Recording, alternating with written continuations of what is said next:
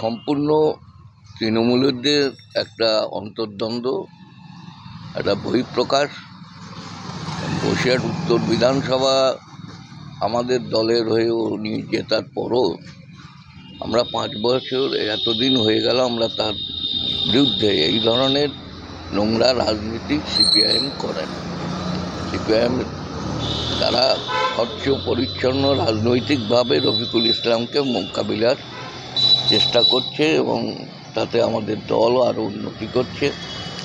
সেক্ষেত্রে ওদের দলের মধ্যে যে দ্বন্দ্ব, সেই দ্বন্দ্বের একটা বহিঃপ্রকাশ এবং এই নোংরা খেলা এবং আগামী দিন যে এখানে লোকসভা উপনির্বাচন হতে পারে, রফিকুল ইসলাম যাতে প্রার্থী পদ না পায় তৃণমূলের পক্ষ থেকে সেই জন্যে আগাম তার বিরুদ্ধে এই ধরনের প্রচার ওরাই চালাচ্ছে। ওখানে লেখা রয়েছে যে বিধায়ককে এলাকায় দেখা যায় না খুঁজে পাওয়া যাচ্ছে না এটা নিয়ে কি বলবেন?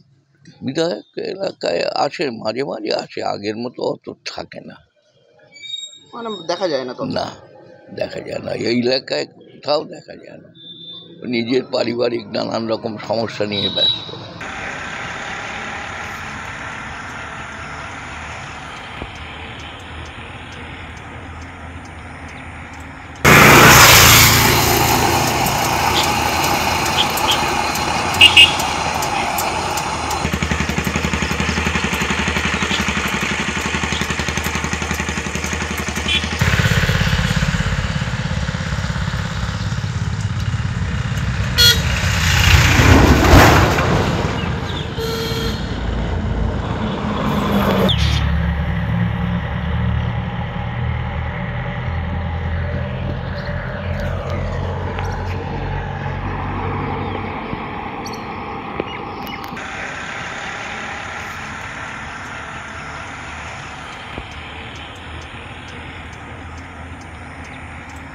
এটা তৃণমূলের কেউ করেছে বলে মনে হয় না। তৃণমূলের নামে চালানোর জন্য এটা বলেছে।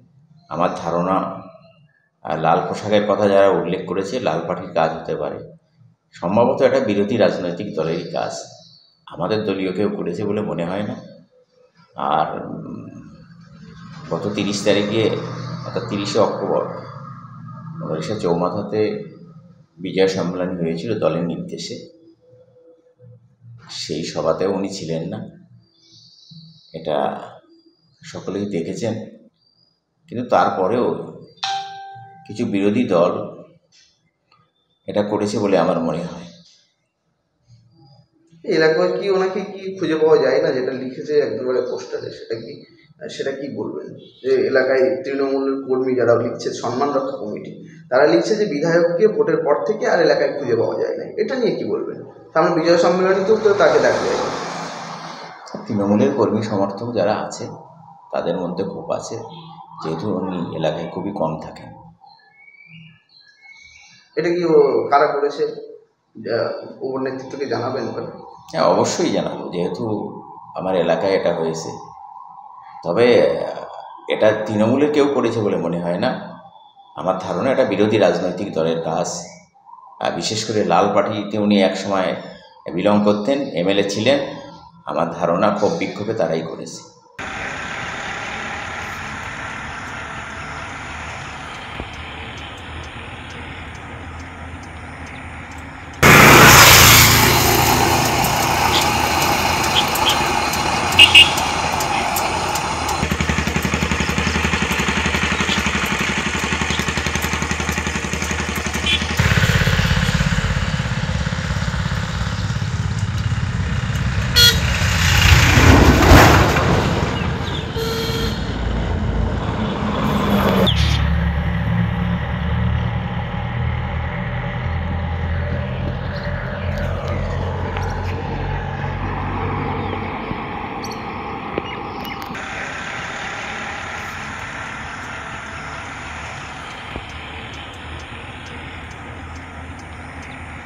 আমরা মুরারিসা পঞ্চায়েত থেকে বা আমরা এলাকার থেকে আমরা যথেষ্টভাবে ভোট দিয়ে আমরা এমএলএ সাহেবকে আমরা জিতিয়েছিলাম। কিন্তু আমরা আশা করেছিলাম যে ওনার হাত থেকে আমরা অনেক কিছু পাবো।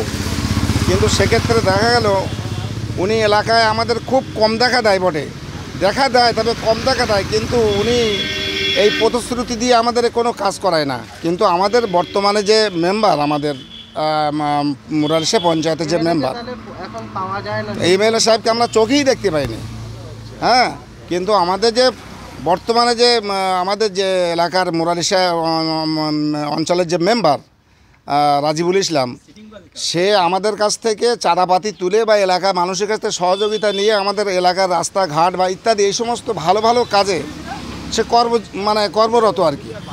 আমাদের যে মেম্বার বর্তমানে সে আমাদের এইরকম মেম্বার এইরকম প্রতিনিধি আমাদের কাছে যদি থাকে, আমরা সত্যিকার উপকৃত। কিন্তু আমরা যে আশা করেছিলাম যে মানে এমএলএ সাহেবের কাছ থেকে আমরা কিছুটা আশা করি, কিন্তু সেটা আমরা আজ পর্যন্ত কিছুই পাইনি।